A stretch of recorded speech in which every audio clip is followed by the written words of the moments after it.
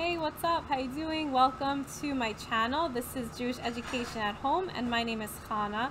This channel is all about Judaism, spirituality, homeschooling, conversions to Judaism. I talk about a variety of topics all related to Jewish education at home on this channel and would love for you to subscribe and stick around a little bit. And this video, I'm really excited. It's a collaboration between me and Bethany, and her channel is called Jewish Charlotte Mason Homeschooling. And this is a really fun collab because it's a Q&A, homeschooling Q&A, and it's really interesting to hear the questions that people have. And we're both going to be answering them. So if you are from my channel, go check out Bethany's channel, Jewish Charlotte Mason Homeschooling, and you'll hear her perspective on the questions the answers to these questions.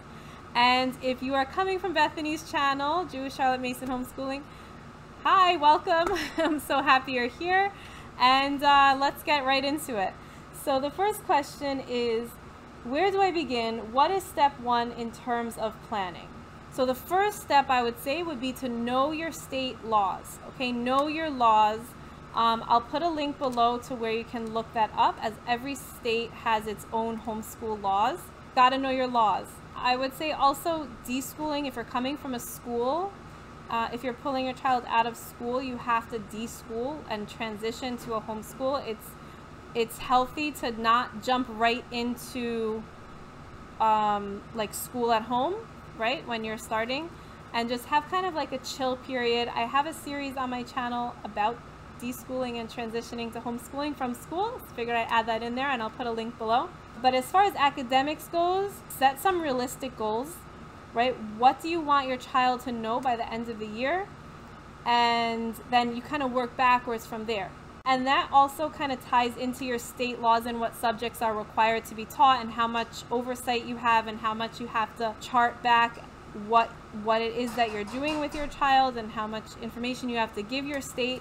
What you do in the year kind of is from that goal. So for example, if you have a five-year-old, maybe you want by the end of the year for your child to be able to read some sight words or do simple addition and subtraction. Or at least for me in, in our first year, I had these big goals in mind that were not realistic. And then I kind of like settled myself down and said, I just want my child to love to read. So that was my goal for that first year. Whatever the goal is, you'll have an end goal in mind and then what you do that year will kind of work off of that goal. And that goal will kind of guide you where to go throughout the year. Second question, how do I start with a high schooler? Okay, so first, first know your state laws. Uh, I know I'm kind of repeating the same thing I said in the other question, but it's very important to know your state laws. Um, and every state is different. Some have more oversight than other states, and some states will tell you exactly which subject which subjects are required. I would definitely recommend that you chart down what you did with your with your high schooler, what homeschool activities you did, field trips you went on, things that you learned, subjects, and be very specific.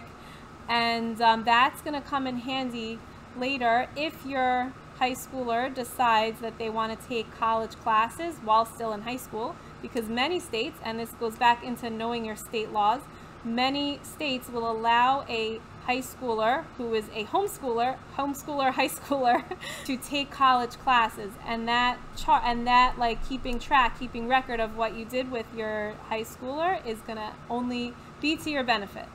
As far as curriculum goes for a high schooler who's homeschooling, um, you can make your own curriculum, you can do your own thing, but uh, that all goes back into your state requirements and the subjects that you're required to teach, if any, if there is so much oversight or how strict the state is.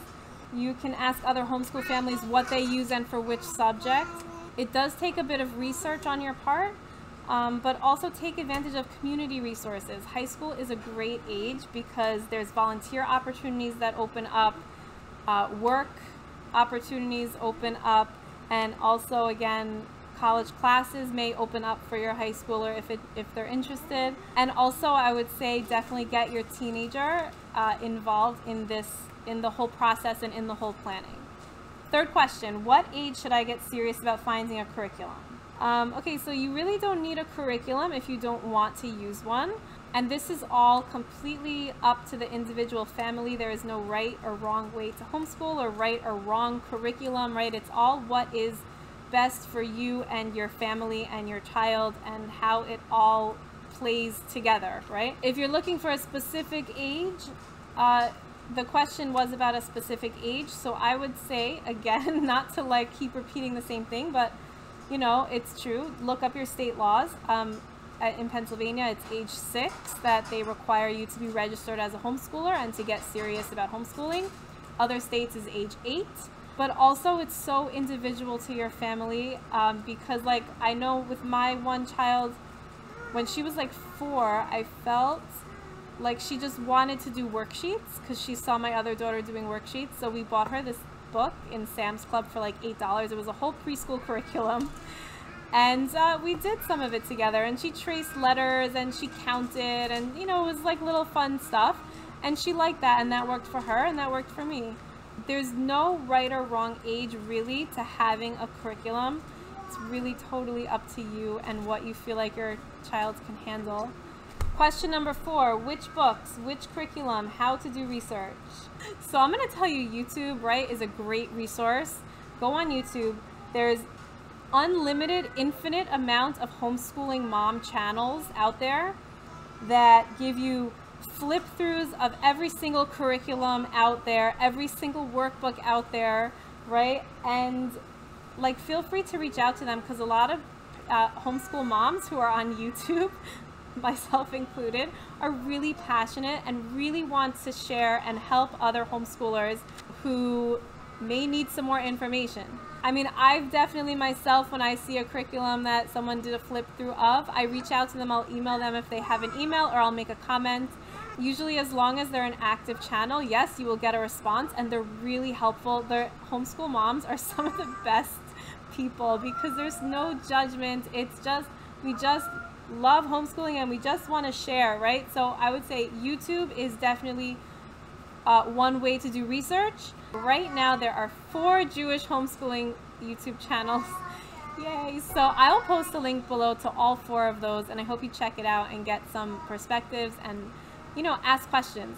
Ask tons of questions. There's no silly questions and there's no judgment. We've all been there. We all know what it's like to start out homeschooling and how hard it can be.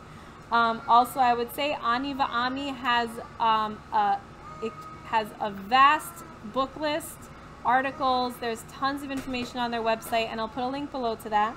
And Facebook groups. The Jewish homeschooling Facebook group, I think personally is phenomenal. I really love hearing what people have to say and everyone's different perspectives. If you're looking for a more professional, like homeschool consultant, um, there is cmplenary.com. I'll put a link below to that.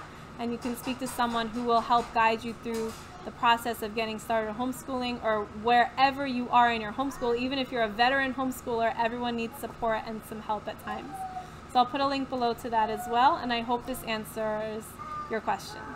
How do you handle kids that wake up in a not doing school today mood? And I'll tell you what I do, and I'm not saying that this is going to work for every single family, but maybe it'll give you some ideas um, so I personally generally don't do school in the mornings because nobody wants to do school in the mornings. My kids, all of my kids, playing is so important for them the moment they wake up.